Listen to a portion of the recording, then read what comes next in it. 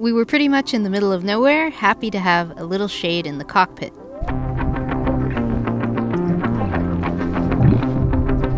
At the last minute before we left Progreso, Robbie installed the Bimini arch that actually doesn't belong to us. It belongs to a boat neighbor from a couple years ago, and we've been transporting it around Mexico for some time now, hoping that we would run into her again.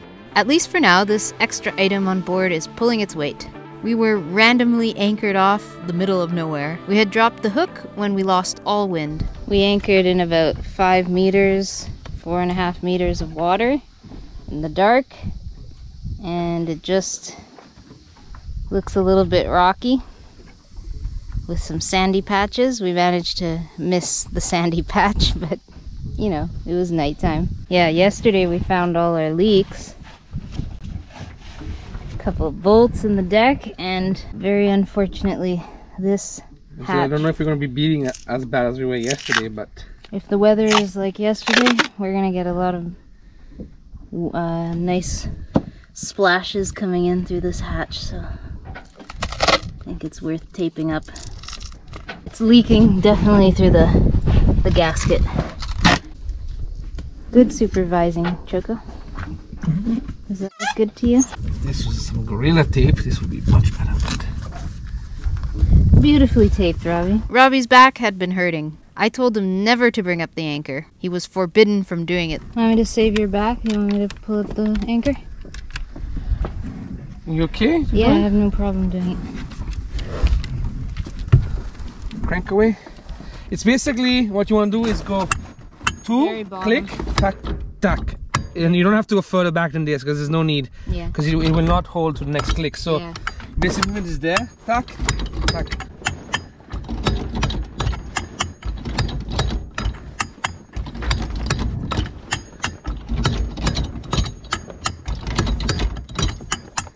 The bottom. Uh, I can't wait to have it electric. It works, we just have to get more batteries, then we have to get the cable for it. Morning exercise. This one-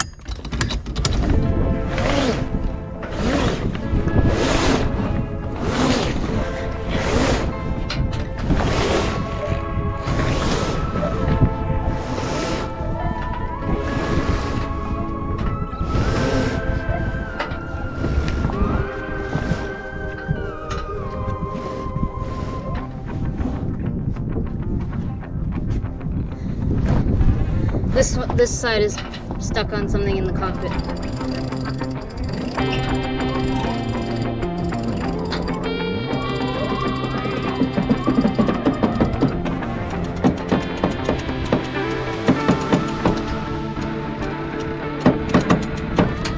Here comes the wind a little bit.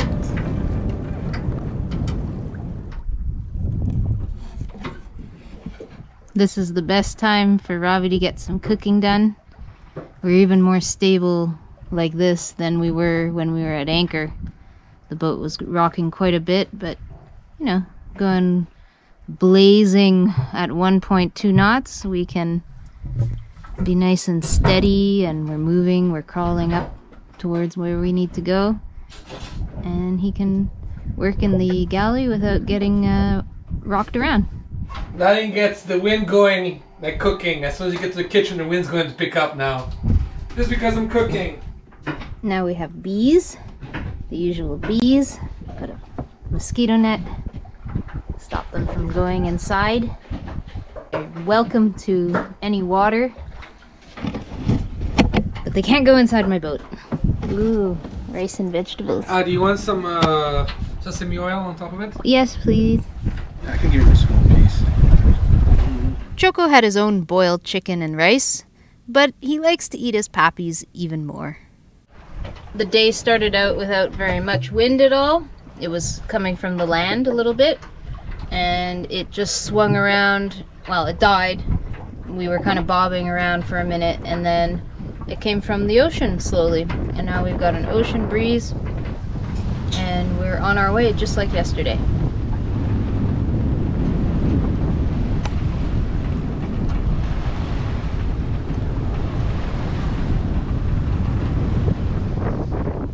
The ocean is often delightfully flat out here compared to other places we've sailed. However, the challenge for us was to constantly be on the tiller. As we stuck to the coastline, we would rarely see deeper than 8 meters on the sounder, and soon enough we would see a very, very shallow, butt clenching reading.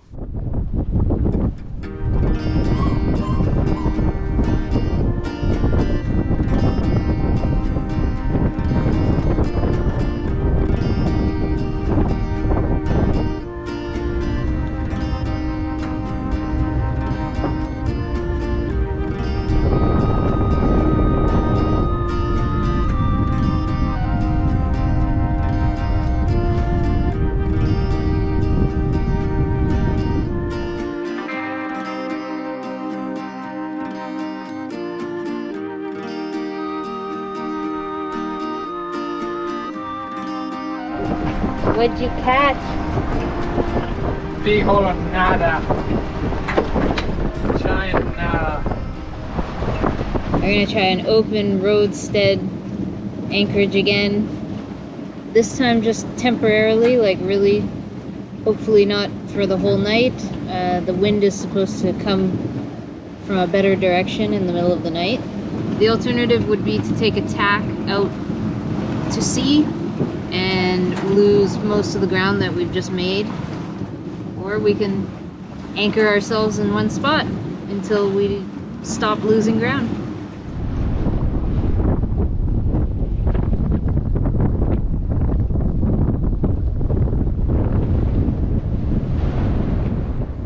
We could tack, zigzag, and not gain much ground, or we could anchor and wait it out for a more favorable angle of wind.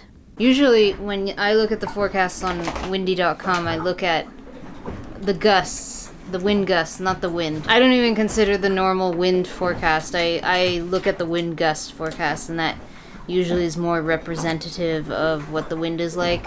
So if they say it's going to be gusting to 20, it means you're going to get 20 sustained. And there wasn't supposed to be more than 15, 18 gusts today. And so far, it's been a good idea to anchor. I think we're much more comfortable than if we would have been beating into this. And I'm not sure where we would have gone. Yeah, we would have just been zigzagging back and forth. Probably not uh, moving so forward. I think this was the, the best course of action.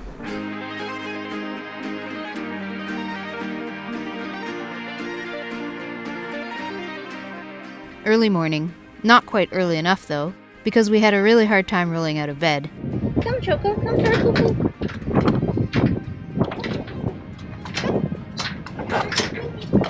No, he got scared. But it was time to raise the sails again.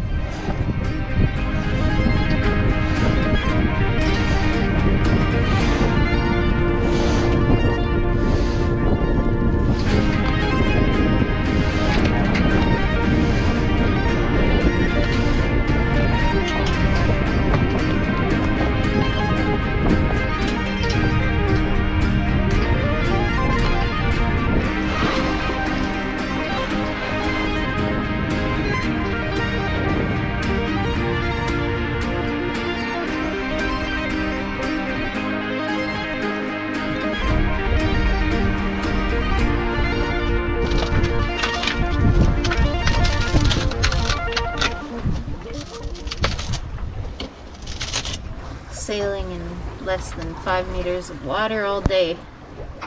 We're gonna, we're gonna be sailing in less than five meters of water most of the day. Typical Mexico fashion. That light is not lit. We came in last night looking for it on the chart. I could see it right before sunset, but little light bulb is not working.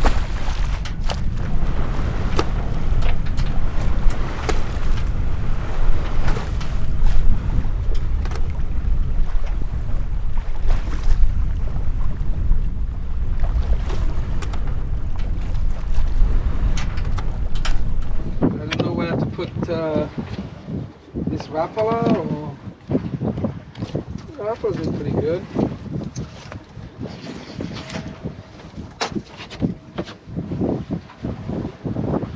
That horrible noise that you hear is the engine. It's so bad. Pretty bad. Like, this will be the first time we're using it uh, other than getting out of the harbor, and I don't think I'll end up using this footage because it's such a bad It noise. sounds fine. It's still vibrating because it's very long, but it's it's fine. It's not vibrating. Definitely not as nice as sailing. Seems to be a bit of current or, you know, our one knot forward with the sail turned into 0.5 in the wrong direction. We'd be going backwards, losing ground if we didn't have it on.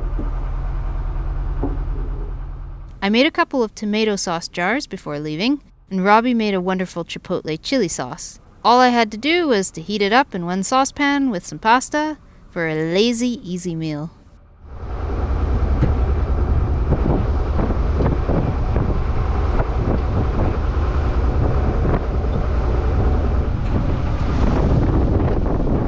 The usual weather pattern continued with the wind picking up from the north, east, and we followed that course until it became too shallow, and then we would tack back out to sea.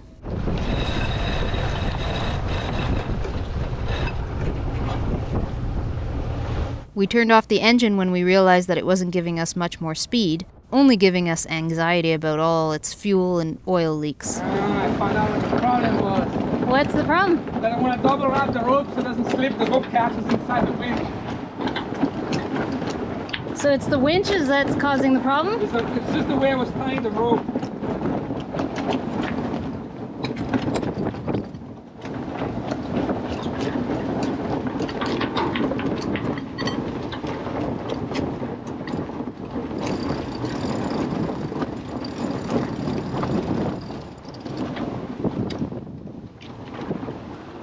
We made one final tack towards land as we approached the harbor called Rio Lagartos.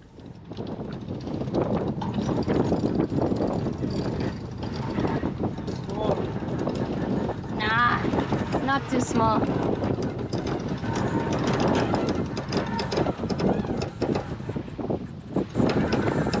It's gonna be great. Yeah, it's starting to get shallow. The countdown is on. There's a little uh, bit of sh- uh, shoaling in front of the entrance to one side. We're trying to miss that, but it means going really upwind. It's better to like tiptoe in slowly than to. I'll boat at 45 degrees to, to decrease the draft. That's that's one way to decrease the draft. We crank it, we open up full, and you go at full speed. The more the boat's heeled over, the less draft we have. Robbie was joking about heeling to decrease our draft, but it was no joking matter a couple minutes later. It's common for fishing pangas around here to try and pass in front of us, which caused us a couple of hair raising moments, but luckily this one decided to pass behind. We're sailing faster than the motorboat.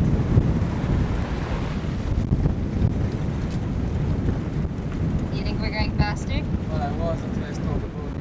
Well, this cute little boat went in for the forward pass. We approached the entrance and Choco became restless at the sight of land.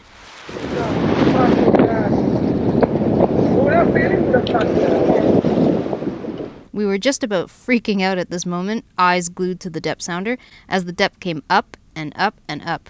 We were heeling pretty well at this point, and the depth sounder gave us a reading of 0.9 meters, meaning that we had less than 20 centimeters or like half a foot under our keel to spare. As we reached the entrance proper with the green and red lights on each side, the depth went down again 1.5 and then 2 meters on the sounder. Phew!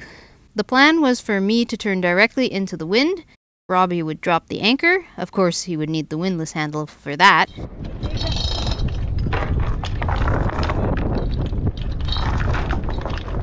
And then drop all the sails.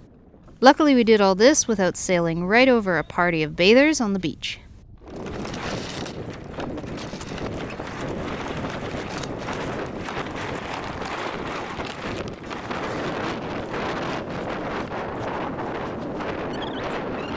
Within a minute, Robbie launched the dinghy and was bringing Choco to shore. This was a bit of a heart stopping place to come into. However, we could tell right away that it was well worth it, as interesting flora and fauna began to appear before us. Choco started rubbing his fur in everything. Chocolate. Uy. Choco, come here. Hey, Choco. Choco. Muy mal. Mm. Mm.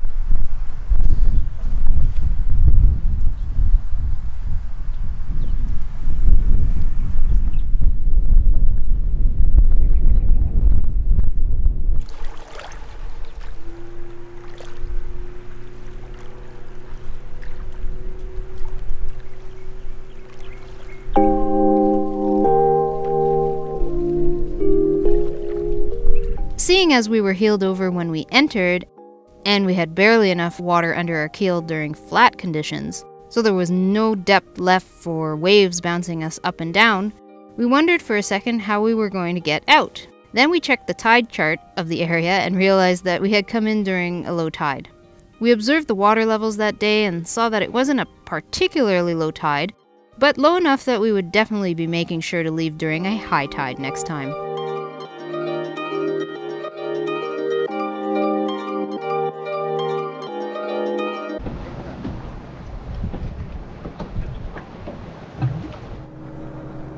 Those guys are going out, out, out. Maybe the fishing is good here at night with some bait. Is anybody getting anything?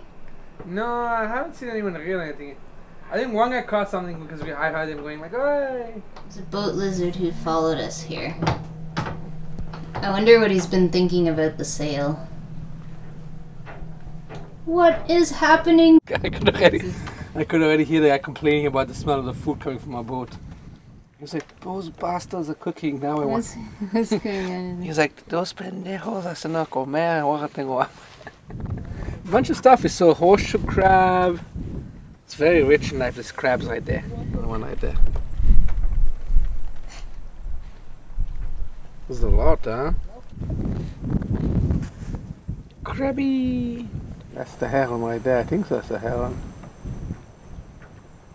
It's the night heron or whatever they call called.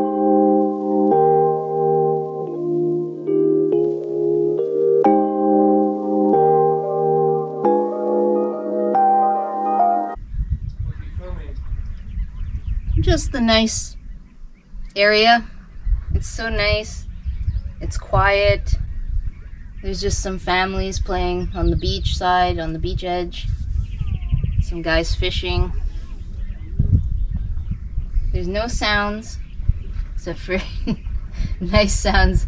And then I hear your video of obnoxious guy fishing. The small town of Rio Lagartos was a one nautical mile row away.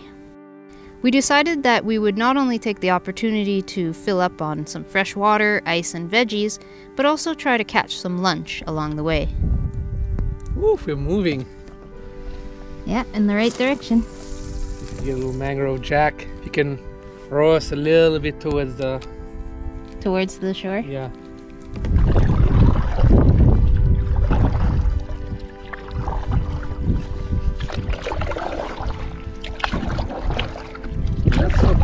Robbie tried some casting. We could see a lot of fish darting in and out from under the mangrove edge.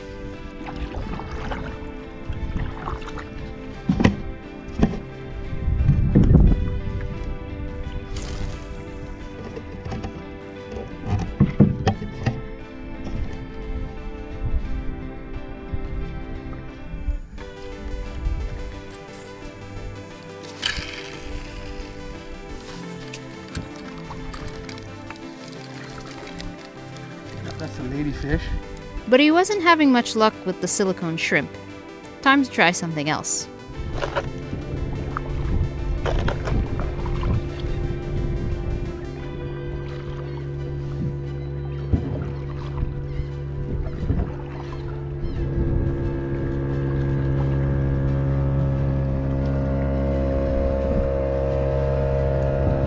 Right in here, this is where they put a buoy further with your drafted boots. Probably goes up one of these arms in the mangrove. Probably standing around.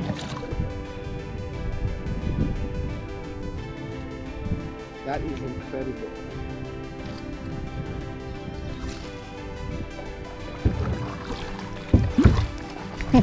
a needlefish? Yeah. A little needlefish.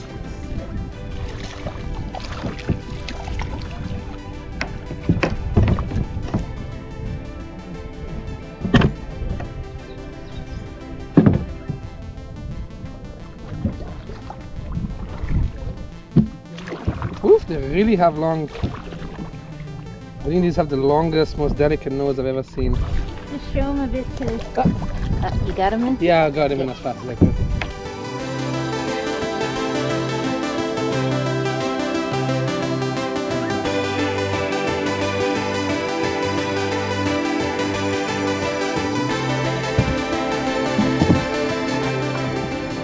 Olvidó mi chanclas. Olvidé. Sure if olvidó olvidé. Well, I forgot my chanclas. The dark right here. The town was more animated and open for business than we anticipated, so we got some fresh oranges to squeeze, some nice juice, and some oil for the engine.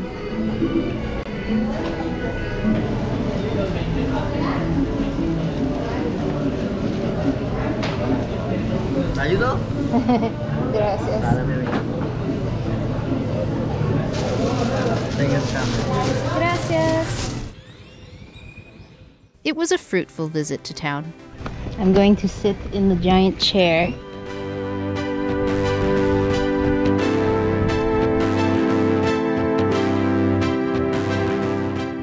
Back at the boat, we began to realize that our anchorage was the tourist spot where bathers come to rub the white sand and clay all over themselves. In the green is is the dust from the thing that has Ah. it's the copper dust in the seawater. Still lots of oil in the engine. That's a good sign. Oh yes. Let's see how much oil. I mean there's oil coming out but it's not like it's not controllable. We were still trying to procure lunch. Nice. Fifteen pound flounder, that'll be really nice. Can you get? I think it's a bunch of baby flounders around. Yeah, I got a small bite. Could either be puffer fish or little baby flounders on the bottom. Nibble, nibble. Oh, it's a little fishy.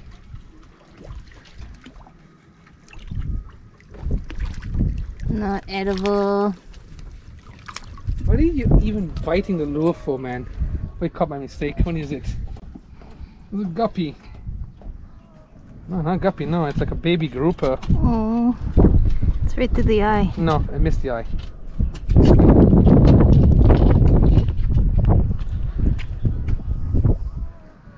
It's a baby grouper. Baby grouper? Yeah. With cell phone reception here at the entrance, we looked up the weather forecast and knew that we would have to leave this magical place tomorrow morning.